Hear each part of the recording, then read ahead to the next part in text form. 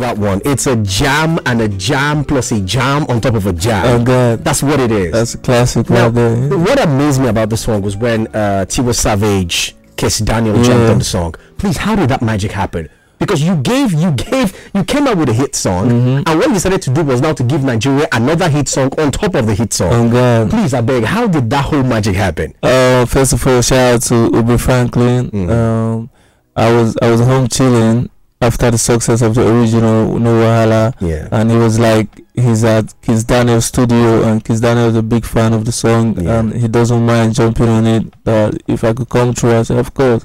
So I went to Kizz Daniel's studio in his house, and um, we vibed on the song together.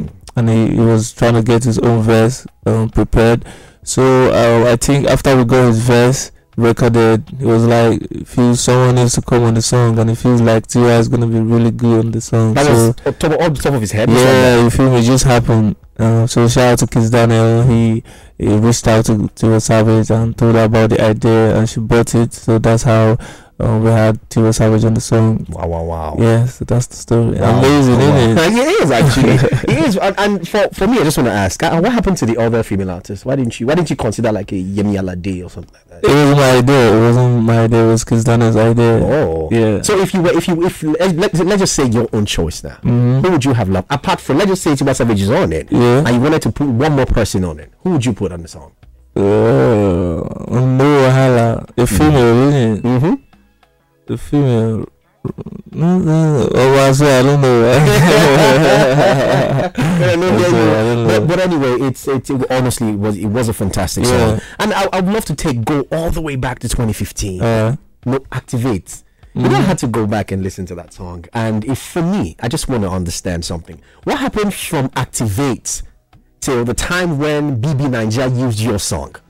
Because it was like a whole transition. Yeah. Because I want to know from 2015 when you first released Activate, what was the idea? You know, you just coming up. What was the image you wanted to create first of all in the music system? um, actually, my first official single, 2015, I think, was Love Had Daily before Activate. Yeah, before Activate. Yeah. Yeah. So from there till now, it's just been um real organic growth and hustle. You feel me? Mm.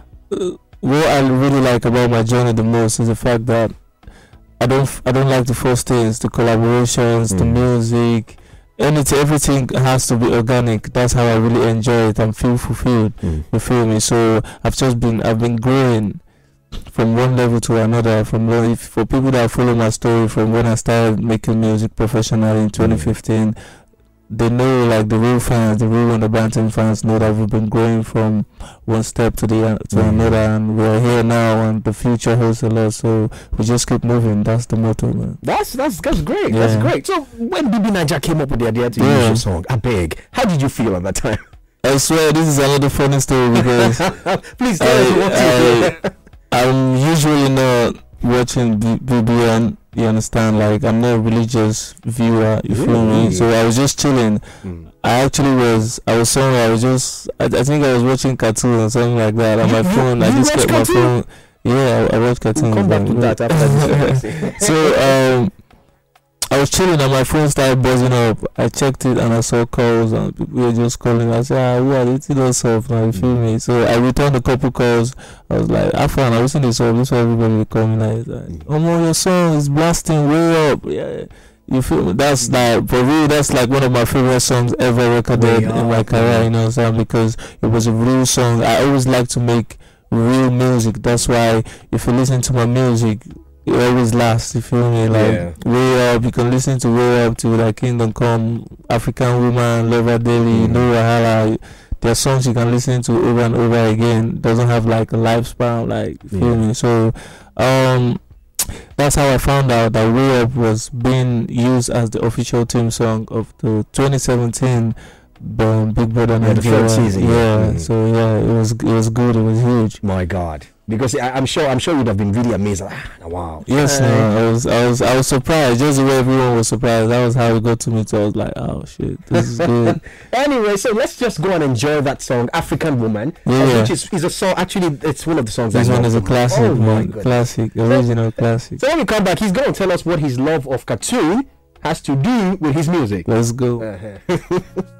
Uh-huh.